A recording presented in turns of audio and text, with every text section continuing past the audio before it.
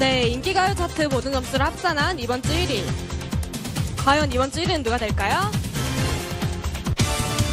아이유 축하드립니다. 이 트로피는 꼭 전달하도록 하겠습니다. 그럼 저희는 여기서 인사드릴까요? 일요일엔 어디 가요? 다 같이 인기 가요. 즐거운 명절 보내세요.